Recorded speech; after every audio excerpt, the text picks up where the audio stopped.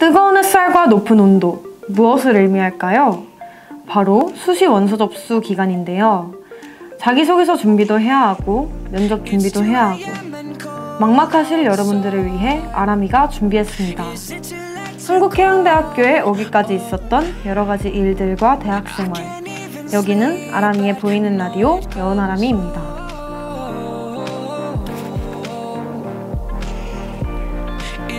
저보다 입시에 대해서 더 생생한 경험을 가진 게스트 두 분과 함께하는 보이는 라디오 1부입니다. 어, 보이는 라디오 1부에서는 한국해양대학교 지원 과정에서 있었던 재미있는 경험담을 들려드리는 시간이죠. 그럼 게스트 두 분 모셔볼게요. 안녕하세요. 지민아람이입니다. 안녕하세요. 민혁아람이입니다. 네, 반갑습니다. 어, 저희 지금 대학교 방학 시작한 지 꽤 됐잖아요. 어, 저는 진짜 잘 쉬고 있는데 혹시 여러분들은 작년 이맘때 뭐 하고 계셨나요? 저는 한창 입시 준비를 하고 있었어요. 이제 수능 공부도 하면서 대학교에 들어간다는 설레임으로 열심히 공부를 하고 있었죠. 저도 입시 준비할 때라 담임 선생님이랑 상담하고 있었던 것 같아요. 아, 그렇군요. 역시 여름은 입시의 계절인 것 같아요. 어, 저는 정시파였는데 혹시 여러분들은 수시파였나요? 정시파였나요? 어, 저는 100% 수시러였어요. 근데 이제 면접과 자기소개에는 조금 자신이 없어서 이 둘을 보지 않는 일반 전형으로 지원했습니다. 저도 수시파여서 이제 우리 학교에 수시 원서 두 장을 썼었는데 교과 성적 우수자 전형이랑 지역 인재 전형을 썼었어요. 어, 교과 성적 우수자 전형은 다 성적만 보니까 그렇게까지 힘들지 않았는데 지역 인재 전형은 면접을 봐서 조금 애먹었던 기억이 있네요. 아, 시간 진짜 빨라요. 그쵸? 저도 진짜 수능 치던 게 엊그제 같은데. 아, 지민아람이는 면접 봤다고 했죠?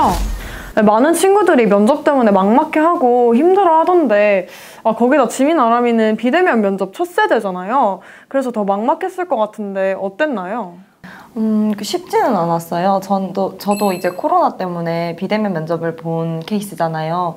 어, 다른 타 대학에서는 또 대면 면접을 보기도 했었거든요. 그런데 제가 직접 준비하고 면접 보러 가보니까 두 개 차이가 좀 크게 느껴지더라고요. 아, 그러면 지민아람이는 대면 면접, 비대면 면접 둘 다 경험해 보신 거네요? 아, 진짜 대단해요. 어, 아무래도 비대면 면접은 처음으로 도입된 면접 방식이라서 어려움이 많았을 것 같은데 어땠나요? 어, 우리 학교는 이제 영상을 찍고 그 영상을 제출하는 방식으로 면접이 진행됐었어요. 어, 보통 대면 면접은 질문이, 면접 질문이 미리 공개가 안 되는데 이번엔 비대면 면접으로 진행돼서 면접 질문이 미리 공개가 됐었거든요. 세 가지 정도 공개를 해줬고 이제 그 면접 질문에 대한 답변을 제가 미리 작성해서 외워서 영상을 촬영하는 방식으로 그렇게 면접을 봤습니다. 그럼 촬영은 어떻게 진행했어요? 요즘에는 완전 프로 유튜버인데 그때는 조금 힘들었을 것 같은데 아 힘들었죠. 그때는 이런 면접 방식이 처음이다 보니까 집에 삼각대도 없고 조명도 없고 아무것도 없었거든요. 굉장히 열악한 환경에서 진행했네요. 네, 완전 열악했어요. 아, 삼각대가 없어서 핸드폰을 거치할 수가 없는 거예요. 그래서 그 엄청 고민하고 있었는데 제 동생이 와서 각 티슈를 세 개를 들고 왔어요. 그리고 이거를 쌌더니 위에 지갑을 놓더라고요. 그 다음에 핸드폰을 거기에 기대가지고 거치대를 임시 거치대를 만들어줬어요. 그래서 영상을 찍을 수 있었답니다. 아, 동생이 은인이네요. 아, 그럼 영상은 혹시 한 번에 수월하게 찍으셨나요? 에이 전혀 아니죠. 저 한 600번은 찍었을걸요? 대면 면접은 이제 조금 틀리고 해도 그냥 넘어가거나 한 번 다시 말한다고 하고 그냥 넘어가잖아요. 근데 비대면 면접은 영상을 찍으니까 틀리면 다시 찍고 틀리면 다시 찍고 틀리면 다시 찍으니까 계속 마음에 드는 영상이 안 나오는 거예요. 그래서 저 한 10시간 찍었을 거예요. 10시간이요? 네, 진짜 10시간 각 10시간보다 많, 넘게 찍으면 넘게 찍었지 적게 찍지는 않았을 거예요.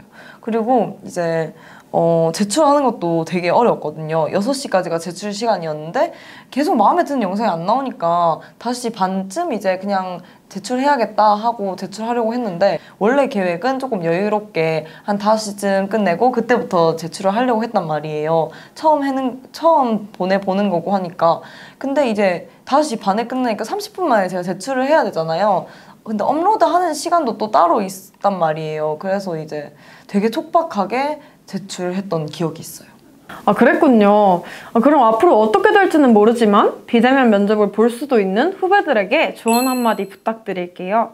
비대면 면접에서 제일 중요한 건 이제 면접 유의사항인 것 같아요. 면접 유의사항에 결격 사유가 표로 나와 있는데 그걸 숙지하지 못해서 떨어진 친구들이 많다고 하더라고요. 어, 제 주변 친구들 중에서도 이제 학교 마크가 보이는 교복이나 뭐 본인의 이름을 말하면 안 된다고 적혀 있는데 그걸 몰라서 떨어진 친구도 있다고 들었어요. 또 어, 마감 기한도 되게 중요하죠. 저도 아- 얘기 아까 얘기했듯이 5시 50분에 50분쯤에 제출을 했다고 했잖아요. 그래서 어, 면- 마감 시간이 1분이라도 지체가 되면 야, 학교 측에서 영상을 안 받아주니까 마감 기한도 꼭 지켜야 된다고 될 것 같아요. 아, 정말 비대면 면접을 볼 수도 있는 친구들에게 아주 유익한 조언이었습니다. 어, 민혁 아람이는 아까 100% 수시라고 하셨잖아요. 아, 그러면 수시 원서 접수가 굉장히 중요했을 것 같은데, 그럼 한국해양대학교를 선택하게 된 계기가 있나요? 아무래도 이제 여섯 장의 패에 대학교가 정해지다 보니까 좀 신중히 결정했었는데요. 그래서 부모님과 제 주변 분들한테도 많이 물어봤어요. 근데 그렇게 한국해양대학교를 많이 추천해 주시더라고요. 혹시 영화 국제시장 보셨나요? 이제 거기 나온 것처럼 우리 대학교가 어, 항상 경제 성장의 중심에 있었기 때문에 아무래도 어르신 분들이나 부모님 세대에서는 한국해양대학교가 약간 신뢰의 아이콘, 믿고 보내는 학교 이런 것 같아요. 아, 맞아요. 우리 부모님도 그러시더라고요. 아, 그럼 민혁 아람이 전공은 어떻게 선택하셨어요? 어, 저는 영어를 좋아해서 영어 많이 쓰고 활용하는 분야로 가고 싶었거든요. 근데 여러분 우리 부산에는 되게 항구가 많잖아요. 어, 그죠. 한국 되게 많죠. 어, 그런 것처럼 저희 집 근처에도 항구가 있는데 거기 일하시는 분들과 선원분들 거기 다양한 산업에 종사하시는 분들이 다 영어로 소통을 하시더라고요. 근데 이제 그걸 보고 아, 영어 해양 쪽 분야는 되게 영어를 많이 사용하는구나 그렇게도 생각하게 됐고 또 저는 일반적인 그냥 평범한 영어보다는 조금 전문적이고 특수한 영어 배우고 싶었단 말이에요. 그런 저에게는 해양 영어 영문학 전공이 아, 너무 잘 맞는다라는 생각이 들었어요. 그래서 이제 2학기에 듣게 되는 해사 영어 입문이라는 강의도 굉장히 많은 기대를 하고 있어요. 음, 영어에 관심 많고 또 본인 전공도 그쪽이면 우리 학교 교환학생 프로그램에도 되게 관심 많으시겠네요. 어, 네. 우리 학교도 이제 교환학생 프로그램이 굉장히 잘 되어 있어서 다양한 나라로 이제 교환학생 잘 보내준다고 하더라고요. 이제 그런 말을 듣고 더 마음을 굳히게 되었죠. 어, 그럼 지금 만족하시나요? 음, 한 학기를 지내본 지금 이 시점에서 되돌아보자면 전공 선택과 학교 선택은 아, 정말 후회가 없었어요. 아, 그렇군요. 다들 정말 다사다난하고 신중한 지원을 했네요. 그럼 여은 아람이는 어땠어요? 아, 저도 진짜 스펙타클한 지원을 했는데, 어, 회사대학 같은 경우에는 건강진단서를 제출해야 하잖아요. 어, 저, 제가 이 건강진단서에 관한 엄청난 에피소드가 있는데, 저는 정시로 회사대학에 지원을 했거든요. 아, 정시는 이제 패가 3개밖에 없으니까, 진짜 원서 접수 마감일 전날까지 제가 엄청 고민을 하다가 지원을 했단 말이에요. 근데 이제 여기서 문제는 제가 건강진단서를 제출해야 한다는 사실을 진짜 까맣게 모르고 접수를 했다는 거죠. 어떡해. 그래서 진짜 부랴부랴 건강진단서를 끊으러 그냥 아무 병원이나 가려고 했는데 이게 선원 건강진단서라서 일반 건강검진이랑 다르거든요.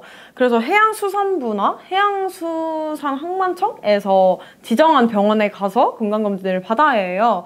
근데 그게 학교 홈페이지에 나와 있는데 제가 그때 너무 정신이 없어서 학교 홈페이지에 들어갈 정신이 없는 거예요. 그래서 바로 아람이 카카오톡 채널로 연락을 했죠. 그때 아람이 19기 진혁 아람이가 빠른 답변을 주신 덕분에 제가 빨리 병원에 가서 전단, 건강 진단서를 받을 수 있었고 그 다음 날 이제 경기도에서 학교까지 내려와서 어, 원서를 무사히 제출했답니다. 경기도에서 학교까지 오셨어요? 아, 당연하죠. 원서는 무조건 원본이잖아요. 그래서 이제 경기도에서 학교까지 왔죠. 아, 사실 아람이도 이 일을 계기로 해서 어, 저도 진혁 아람이처럼 예비 해대생 분들한테 유익한 정보를 제공해주고 싶어서 지원했거든요. 그럼 이 기회를 빌려서 진영 아람님께 영상 편지 한 통 어때요? 뮤직 큐! 안녕하세요. 직접 뵙고 싶었는데 영상으로 뵙네요. 안전 승선하고 계신가요? 제가 진영 아람이 덕분에 지금 한국해양대에 입학해서 아람이 20기를 물려받았네요. 이 은혜 정말 잊지 않겠습니다. 다음 연도에 뵐게요. 안전하선 하시길. 찡끗! 아무튼 회사대학은 건강진단서를 제출하지 않으면 불합격이 되니 어, 회사대학 지원 예정이신 분들은 이 점 꼭 유의하시길 바랄게요. 아, 그리고 어느 전형이던 지원하시고 나서 공지사항이나 제출 서류, 마감 기한 정말 꼭 확인해 주시길 바랍니다. 자세한 사항은 공지사항과 모집 요강 Q&A를 참고해 주세요. 지금까지 게스트 두 분과 한국해양대학교 지원 과정에서 겪었던 재미있는 경험담을 이야기해 보았는데요. 어, 마지막으로 두 분 한 말씀씩 부탁드려도 될까요? 이렇게 얘기를 나누어 보니까 이제 작년 이맘때쯤 제 생각이 새록새록 나네요. 그때도 그때 저도 힘들기도 하고 또 기대되기도 했던 것 같은데 여러분들도 너무 불안해 마시고 본인의 꿈을 향해서 힘차게 달려나가시길 기원합니다. 여러분들도 꼭 여러분의 관심 분야와 관련돼 있는 전공 선택하셔서 여러분의 꿈을 한국해양대학교에서 이루시길 기원합니다. 네, 아람이의 보이는 라디오 1부는 이렇게 마무리하고요. 저희는 더 유익하고 재미있는 아람이의 보이는 라디오 2부로 돌아오겠습니다. 팔로우 미! 아람이!